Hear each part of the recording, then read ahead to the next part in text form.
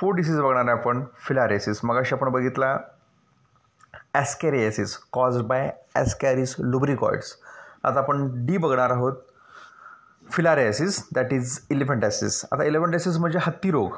Literally हात पाय किंवा जे जनरल ऑर्गन्स आहेत हे हत्तीसारखे होतात. हे हायड्रोसिल फॉर्मेशन होते. हां? आता जो जो तुमचा पाय आहे ह्याच्या तिपटीनं चार पटीनं पाच पटीनं सहा पटीनं इतका तो पाय वाढतो. म्हणून आम्ही याला म्हणतो लिटरली जे ऑर्गन आहेत हे हत्तीसारखे होतात. म्हणून आम्ही याला म्हणतो हत्तीरो हां?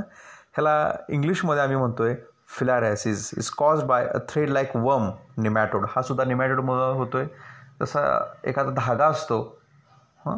जशी दोरी असते किंवा थ्रेड असतो असा हा वम दिसतो. म्हणून आम्ही त्याला म्हणतो आहे nematode worm nematode thread like worm nematode आणि ह्या डिसीजचं काय नाव आहे? फिलॅरेसिस काही जण त्याला फिलॅरेसिस म्हणतात काही जण त्याला म्हणतात elephantiasis these nematode parasites are transported from person to person via mosquito bite आणि हा जो डिसीज होतो हा मॉस्किटो बॉर्न डिसीज आहे.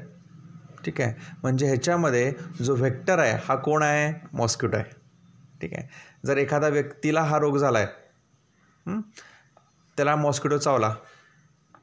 आणि तोच मॉस्किटो दुसऱ्याला चावला तर दुसऱ्या हा डिसीज ट्रान्सफर होण्याची शक्यता नाकारता येत नाही आहे सो इथं मॉस्किटो बाईट जर झाला तर हा डिसीज होण्याचे चान्सेस जास्त आहेत. Filariasis can be divide into three sub types आता ह्याच्यामध्ये तीन प्रकार आहेत.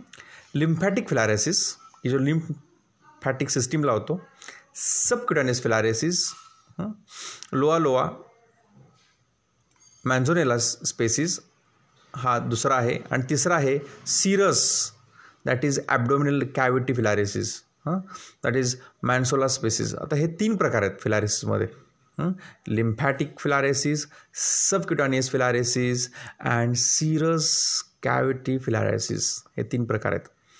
त्यातला लिम्फॅटिक फिलारेसिस आपण बघणार आहोत. That is elephantiasis is caused by the worm wuchereria bancrofti ब्रुगिया मलई आणि ब्रुगिया टिमोरी आता आपला जो इंटरेस्ट आहे हा इंटरेस्ट लिम्फॅटिक फ्लॅरिसिसमध्ये आहे. आपला interest subcutaneous and serous cavity फ्लॅरिसिसमध्ये नाही आहे हे लक्षात ठेवा. म्हणजे जो इलेमॅटिस आपण बघणार आहोत तो लिम्फॅटिक फ्लॅरिसिस आहे आणि हा ज्या वमपासून होतो आहे त्या वमच्या तीन स्पेसेस आपण आज बघणार आहोत. म्हणजे बघा जर एखाद्या व्यक्तीला हत्तीरोग झाला तर एक तर तो जो वम आहे थ्रेड लाईक वम आहे त्याचं नाव आहे ओकेरिया बँक्रॉप्टी. बघा ओकेरिया ब्रँकॉप्टी सेकंड आहे ब्रुगिया मलई आणि ब्रुगिया टिमोरी. बघा मी परत सांगतोय ओकेरिया ब्रँक्रॉप्टी नंबर दोन ब्रुगिया मलई. आता ब्रुगिया लक्षात ठेवायचं पुन्हा तेच आहे. ब्रुगिया टिमोरी. याचा अर्थ ब्रुगिया ब्रुगिया दोन्हीची जेनस सेम आहे. स्पेसिस मात्र वेगळी आहे. मलई टिमोरी. आणि पहिला आहे ओकेरिया ब्रँक्रॉप्टी मग ज्यावेळी तुम्हाला हत्ती रोग होणार आहे त्यावेळी तुम्हाला सायन्स अँड सिमटम्स काय दिसणार आहेत ते पहिल्यांदा बघूया. मी त्याच्या आधी तुम्हाला मी तुम्हाला फोटोग्राफ्स दाखवेन. पहिल्यांदा आपण ॲस्कॅरिसचे फोटो बघूया. नंतर आपण बघूया इलेफंटायसिस म्हणजे फिलारेसिसचे बघूया.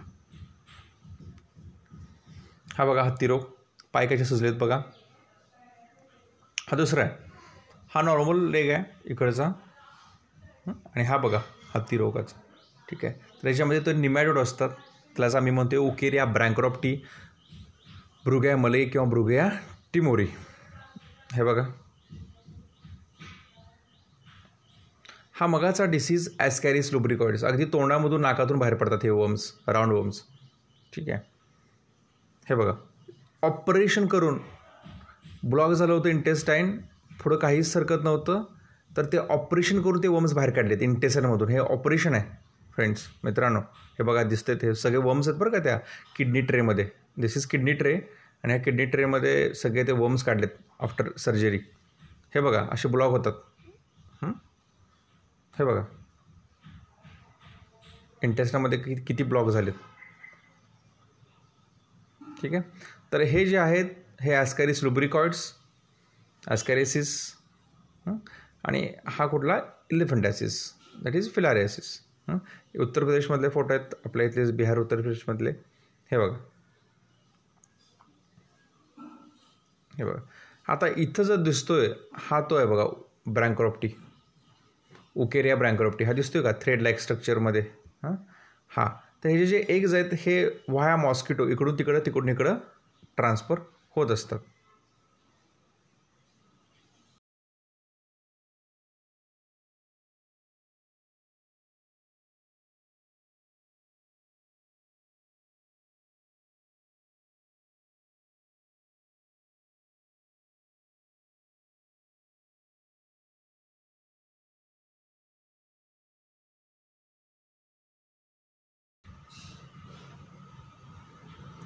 तर त्याचे साईन सिमटम्स बघूया. फिलारेसिसचे कुठले इडिमा इडिमा म्हणजे सूज येते. With a thickening of skin and underlying tissue G skin आहे ती जाड व्हायला लागते. हां? आतले सुद्धा टिश्यू आणि इडिमा म्हणजे खूप मोठ्या प्रमाणात सूज येते. ठीक आहे? म्हणजे इडिमा म्हणजे सूज. हां? Wuchereria bancrofti affect the legs arms breast and scrotum etcetera आता जो उकेरिया ब्रँक्रोप्टी आहे हा कोणाला अफेक्ट करतो आहे लेगला आर्म्स म्हणजे हात जे आहेत हे मोठे होतात. ब्रेस्ट म्हणजे लक्षात ठेवा स्तनं स्तनं मोठी होतात. आणि स्क्रोटम आता मेलमध्ये जो खालचा पाऊच आहे पेल्विक रिजनमध्ये खाली पेणीच्या खाली तर तो स्क्रोटम पाऊचसुद्धा काय होऊ शकतो? मोठा होऊ शकतो.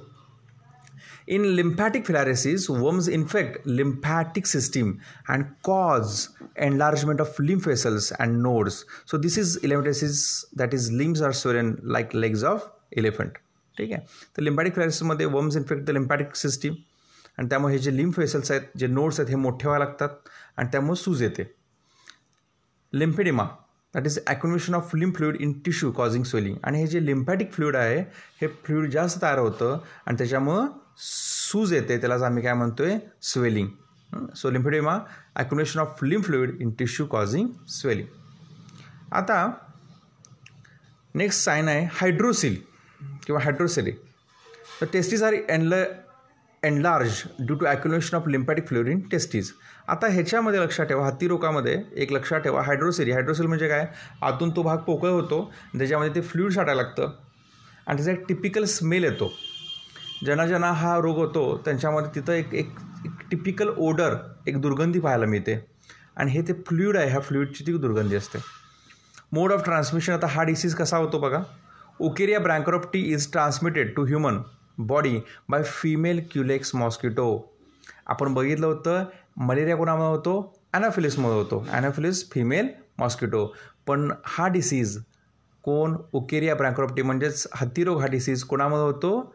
By female culex mosquito the larvae escape mosquito body and arrive on the human skin So they penetrate the skin, undergo two molting before they become adult and settle in the lymphatic system.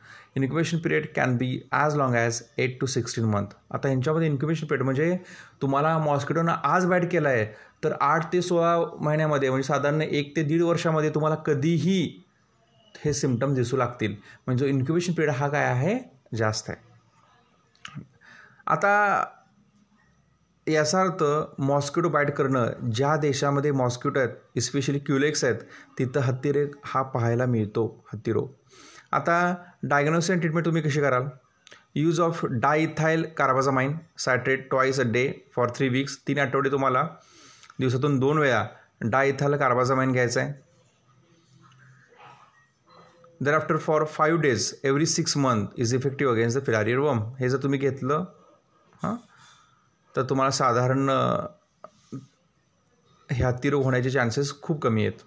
हे? झाले diagnosis and treatment prevention and control बघा. Avoid mosquito bite by using mosquito net and insect repellents so irrigation of mosquito is essential for control of filariasis यांनी सांगितले जर पूर्णपणे मॉस्किटोचा नाश झाला ते पूर्णपणे कमी झाले तर आपल्याला हत्तीरोग होण्याची कुठल्याही प्रकारची शक्यता नाही आहे हे त्याची सायकल आहे लाईफ सायकल आहे. नंबर वन बघा. Mosquito take a blood meal. Electric larvae enter the skin आता मॉस्किटो ब्लड घ्यायला लागला आहे हा ब्लड तो जो न्यू होस्ट आहे त्याला ट्रान्सफर करायला लागला आहे आता त्याच्यामध्ये ते त्याचे लार्वी जाणार. त्याचं कन्वर्जन थ्रेडवमध्ये होणार. That is second adult in lymphatics त्याच्या त्या लिम्फॅटिक सिस्टीममध्ये जाणार. तिथं फ्लुईड वाढवणार स्वेलिंग करणार. तिथे त्यांचा नंबर वाढणार.